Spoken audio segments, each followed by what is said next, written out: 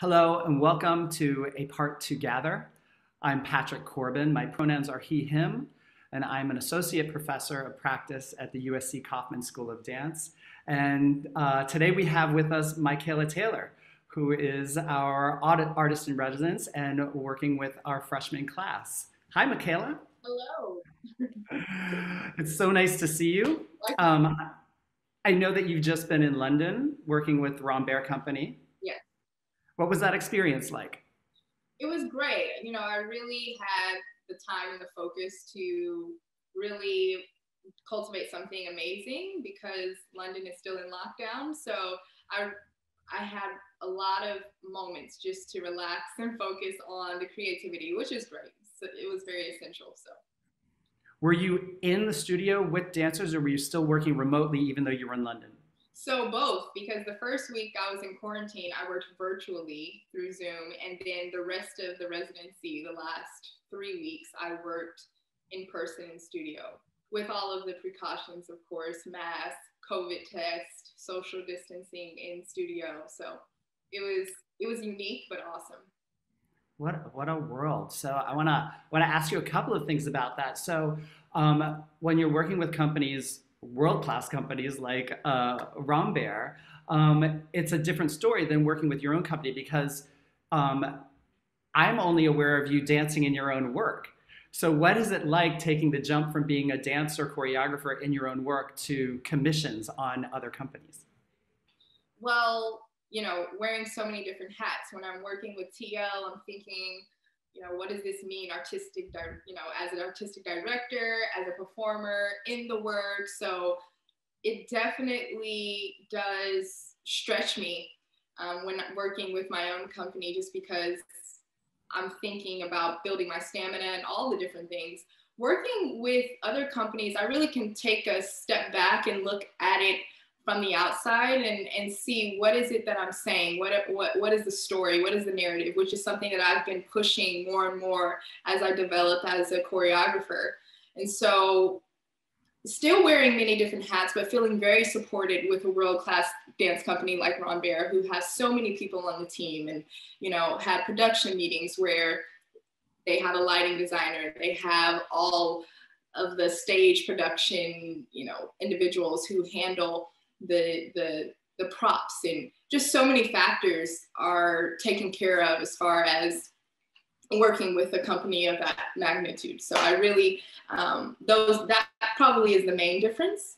I can focus more so on the creativity when working with Rambert, whereas with TL, I'm focusing on creativity, my body, physically, all of it. So, and, yeah. and stepping in and out of the uh, voyeur and the performer right. must be yeah all the time right? Right. Right. Um so when you're working when we're, we're all working in this in this remote environment um, and what i've uh, was curious about um, over this past year uh, teaching um, was my anxiety about how, how dance is a, is a visceral, visceral and spiritual practice for me. And that's how I go about it with my students. So whether we were going to have that actual spiritual, visceral connection, I was, I was anxious about it and I was worried and I was sad about it. Um, and I've noticed in my experience with this particular class of freshmen, I have to say, and maybe it's because it's all they've known, is that we have created a connection and and they've created a connection with each other. And so i love that your piece reach is is about that. And i wonder if what in your research working remotely if you found sort of the same thing. Yes i would agree. I think that this generation is so comfortable with virtual online um, work and a lot of them are developing their careers online essentially. So this is not new territory for them. I would say that it does cause all of us to get better with communication and using particular words that can get our point across because you know with technology there are there are these moments where there's glitches the internet goes out, there, there, there's freezing moments, and we have to be ready for that. So I've learned that relying so much on my physicality isn't always the best way to go. Sometimes it is taking a moment to really describe what I'm doing um, to make it more clear. But also at the same time, not allowing the online way of working to stop me from moving. Um, and I think that's what I've seen a lot in this freshman class is that they've made their homes a studio, which is amazing. Seeing Marley in their rooms and in their garages and just that fight, that that hunger desire to keep moving is really amazing and inspiring. Well, absolutely, and, and um, the arts, dance in in particular, the resiliency of dancers yeah. and dance. Yeah. yeah. Um, I, I, I am blown away by them. I get emotional thinking about them. Um, I hold them in very high regard for that. Um, so, also, when you're working with your own company, you have a method. It is called expand to practice. Yeah, and so um, when you're when you're beginning to work with our dancers, as you did just the other day, um, working with our dancers, how is that um, walking them through a new method of working or a new uh, a method of working that you've been developing? Yes, it's really about vulnerability, honestly. So expand practice is inspired by many different things, but really I had a desire to let go of any sort of construct of moving. I, like I said, I started off in hip hop and then I transitioned into um, training in contemporary ballet. And I realized that I kind of lost the freedom of expression, especially in my face, when I started dancing in more um, classical forms, if you will, styles of dance. And when I started to choreograph, I realized that every time I was on stage, that that expression would come back naturally. I don't know why. I just kind of started geeking out and tweaking out in the face. And so that became something that I did every time I went into the studio. And with this expand practice, it became really a culture in this guided improvisation that we do each time that we meet for at least an hour. Just feeling free to, yes, build our muscle, build our stamina, build our technique, also let go of our expression in our face, let go of the one style or one way of moving and really combine all of our information, each individual's information that they have, their own personal dance history can come out and expand practice. And so we developed strength in our core. Really, that's that's our that's kind of our foundation and our base, and then everything else grows and expands from that space. So I really see connection. I oh, sorry, yeah. go ahead. I was gonna say it's really, really exciting to see the USC students latch on to that even through Zoom. They had so much to offer in the guided improv that we started together. Um, and I could see, I can see their, um, the variety of dance history just in the Zoom session that we had together. And so it's, it's, it's exciting. It's extraordinary to have, uh, and you used the word earlier, um, uh, hybridity, right? And it's what we are mm-hmm. after.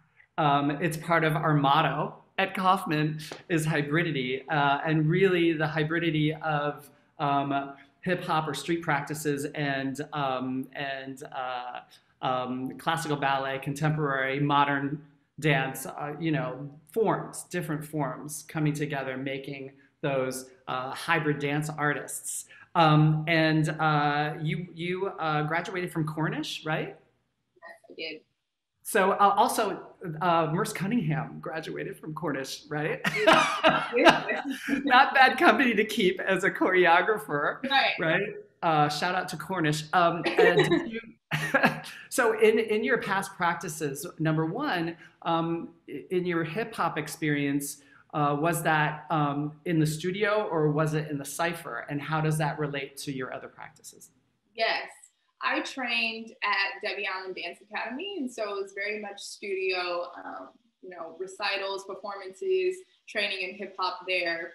But as I developed as a choreographer and really in expand practice with the TL Collective, the company, the hip my hip hop training began to bleed into this cipher mentality where we were all improvising together, but then started to go one by one and really be in, inspired by each individual in the group. And so, training as a as a young um, dancer, I never ciphered much. I, I didn't really do the kind of one off where we go one by one and share. But as I have grown and, and just been influenced by so many dance makers, we have ciphered more in, in the TL. And that has been really expanding to us as a, as a collective.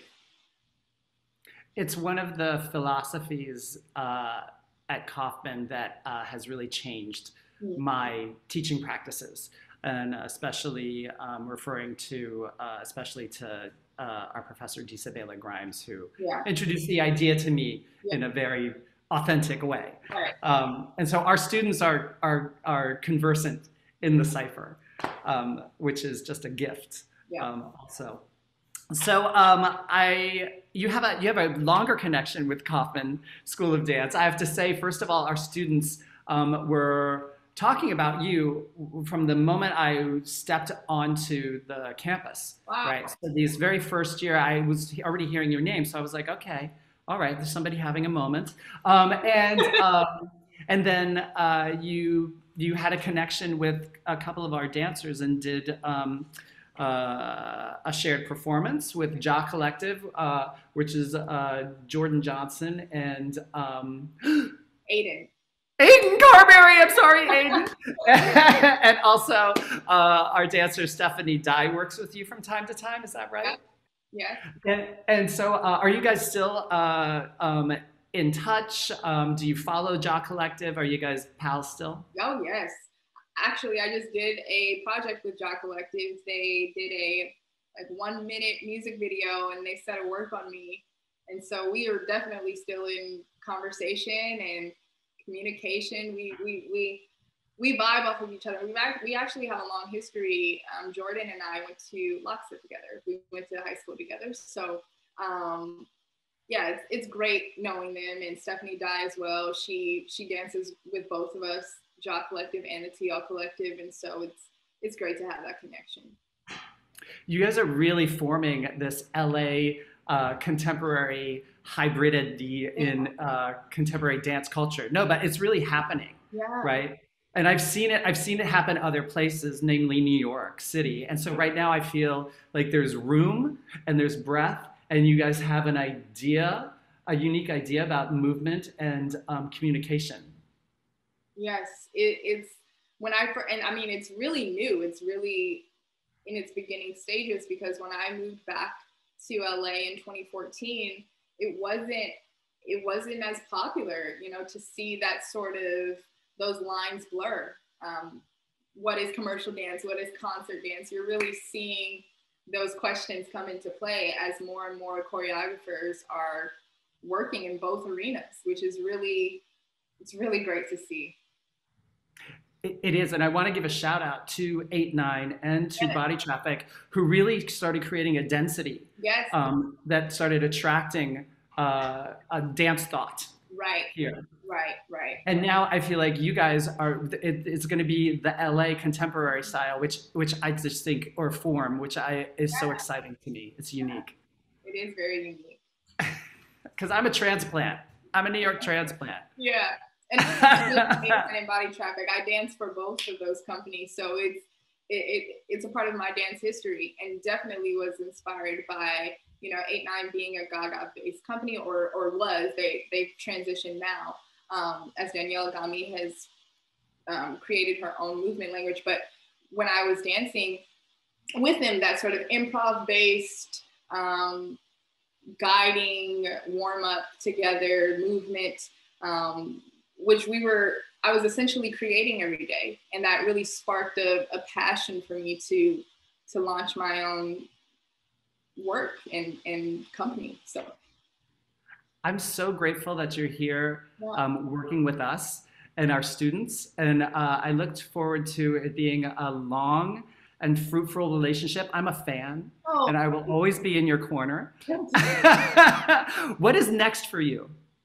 Yes, so I'm continuously working with the TL Collective on film projects now. We currently just are doing a new film for the Getty, actually, um, which is really exciting. So we're working on a new film for that. And then also, I'm continuously doing freelance work. So, freelance choreographing for um, new companies coming up. And I won't give away too much of that because I still have to do some more stuff. But but I am looking forward to to doing more of that as well. Uh, I'm looking forward to this premiere and continuing our relationship together. Yeah. Um, thank you again, Micaela, for your time. Uh, we would like additionally to fa- thank the Choi family, whose continued support uh, of the artists in residence and visiting artists at USC program. And now, please enjoy the showing of New Works Plus.